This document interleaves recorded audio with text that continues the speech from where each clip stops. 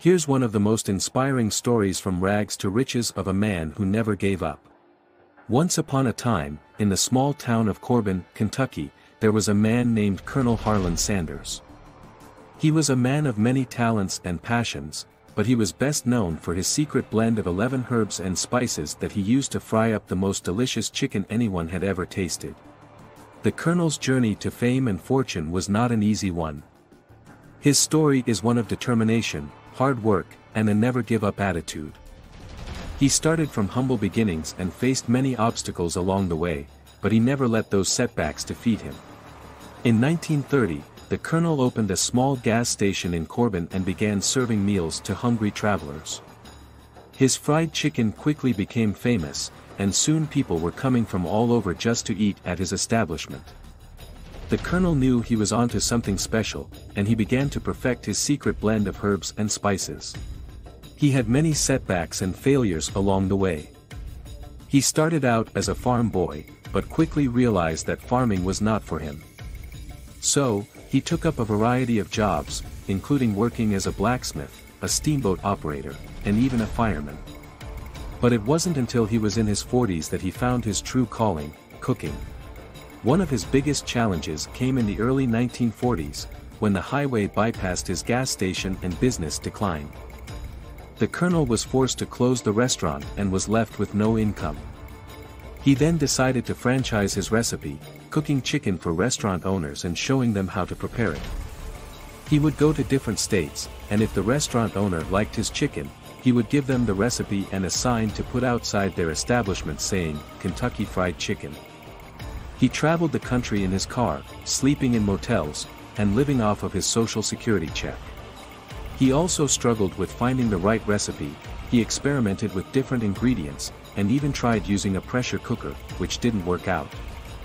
He finally settled on his secret blend of 11 herbs and spices, which gave his chicken its unique flavor. He also established a strict code of quality control for franchisees, which included strict guidelines for cooking temperatures and times, as well as the use of only the highest quality ingredients. Despite these challenges, the Colonel never gave up on his dream. He continued to work tirelessly to promote his chicken and to expand the KFC franchise. He even worked as a spokesperson for the brand, appearing in TV commercials and print ads, where he would always end with the catchphrase, finger lickin' good. In the 1950s, the colonel decided to take his chicken on the road. He bought a used Chevrolet and began traveling the country, cooking his chicken in the back of the car and serving it to anyone who was hungry. He would often stop at small, family-owned restaurants and offer to cook his chicken for them.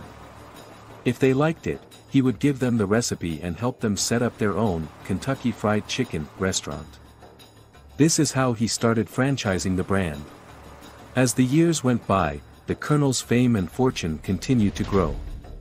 He became a beloved figure, known for his white suit, black string tie, and signature goatee.